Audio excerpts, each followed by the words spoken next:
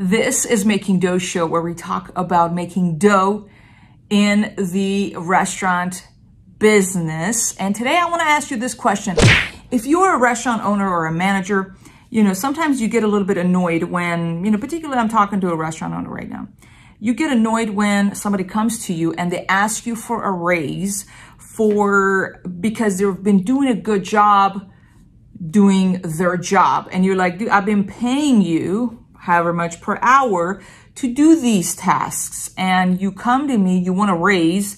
In order for you to get a raise, you need to do new things. You need to take on new responsibilities and lower my burden and my stress a little bit, right? It's really clear in your mind if you are a restaurant owner and you understand what I'm saying. So I want to ask you this question. You yourself as a restaurant owner, you would like a raise, I'm sure.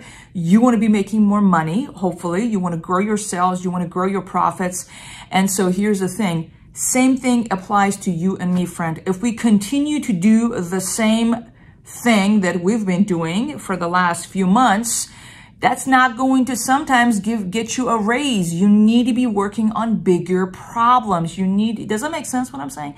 You're going to be continuing to make what you've been making and have this kind of a linear growth in your business if you continue doing what you've been doing. Does that make sense? So if you want to be getting a raise, if you want to be growing your sales, if you want to get outstanding results, different results, than what you got right now, you need to shift and work on new things, work on solving bigger problems. One of the things that happens in any business, I'm sure, particularly restaurant industries, that we have a lot of problems. You have little problems, you have big problems, you have problems with customers, you have problems with staff, you have problems with cleaning not getting done, all kinds of problems we have. You need, you have a choice in what you choose to allocate your time and what you choose to do. So my challenge to you, friend, is this. If you want to raise, you need to work on bigger problem. Take on bigger responsibilities. Take on projects that are going to have a bigger return on investment. So hopefully we can both get some raises around here. Huh?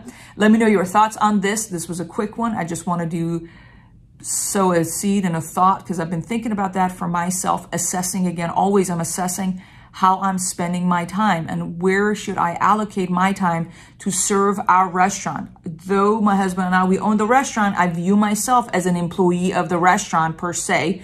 And I have a duty to, you know, the time that is, you know, the, business is paying us.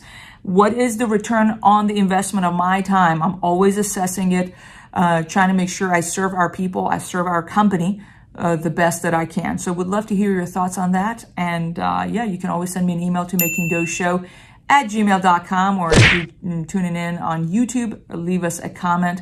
Would love to hear from you. Be sure to subscribe. And uh, the podcast department, I would appreciate it if you leave us a review. And uh, with that, clearly we have a lot of work to do. So let's get back to work and make some dough. Thank you so much. Bye-bye.